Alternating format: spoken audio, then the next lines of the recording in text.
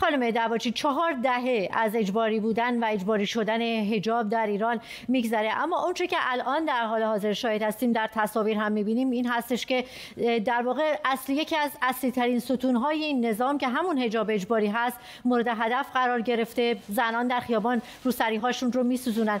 آینده هجاب در ایران رو شما چطور می‌بینید؟ با سلام خدمت شما و بینندگان عزیزتون.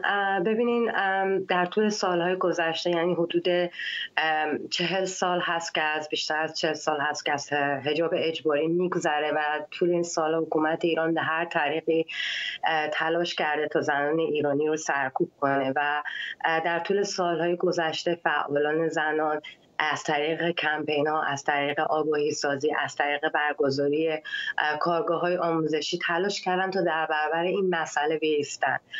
اما این مسئله کم کم کم از مسئله فعالان زنان به یک مسئله بزرگتر اجتماعی به یک اعتراض اجتماعی تبدیل شده.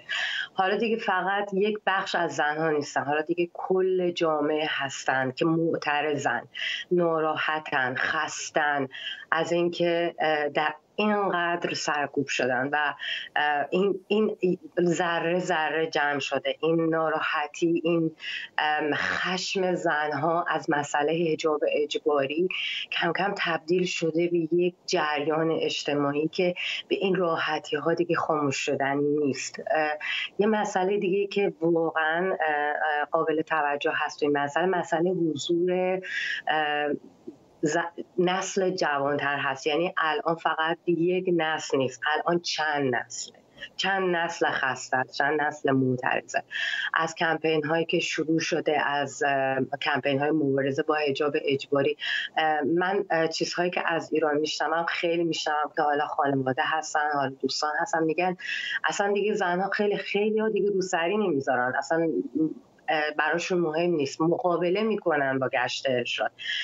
چیزی که من در آینده می‌بینم می‌بینم که مبارزه زنان برای حجاب اجباری مصممتر قویتر و جدیتر خواهد شد در آینده. و بعید می‌دونم که دولت ایران بتونه این مبارزه رو این حرکت جدی زنان رو دیگه خاموش کنه. چون این دیگه فقط فردی نیست. این الان در کل جامعه در, در میان تمام زنهای ایرانی در واقع پخش شده. این چیزی هستش که من در آینده می‌بینم. خانم دواچی در واقع از این منظر هم بهش نگاه بکنیم که جمهوری اسلامی براش حجاب بسیار مهمه. در واقع یکی از خطوط قرمزشه. دلیلش رو شما چی می‌بینید؟ آیا فکر می‌کنید که با برداشته شدن این حجاب اجباری نظام به سمت فروپاشی میره؟ بله خط قرمزش هست. اصلا جمهوری اسلامی مسئله زن خط قرمزش هست. اگر نبود انقدر زنها رو از حذف نمی‌کرد.